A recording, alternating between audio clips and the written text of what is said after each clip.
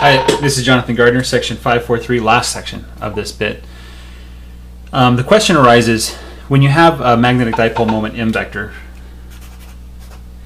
um, does it matter where the loop occurs, or is it as long as it happens somewhere near the origin, it's, it's, an, it's unimportant far away from the origin?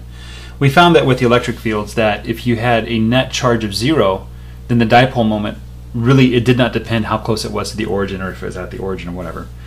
And because there's no such thing as a monopole moment for magnetic fields, the answer is that it does not matter if if the the loop occurs at the origin or near the origin or anything like that.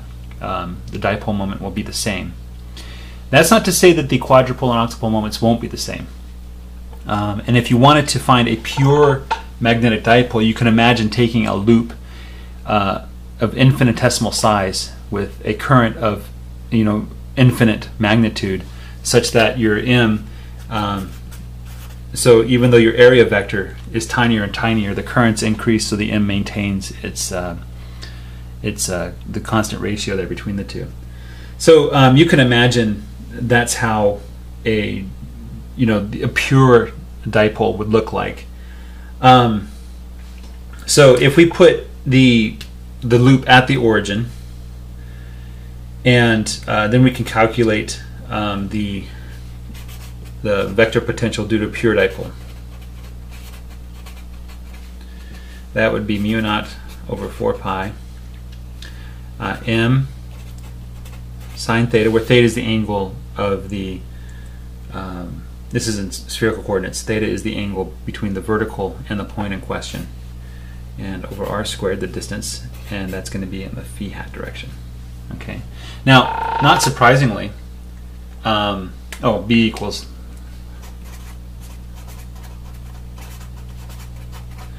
the magnetic field of the pure dipole is just the curl of A, which, um, when you work it out, will be mu naught uh, over 4 pi m over r cubed.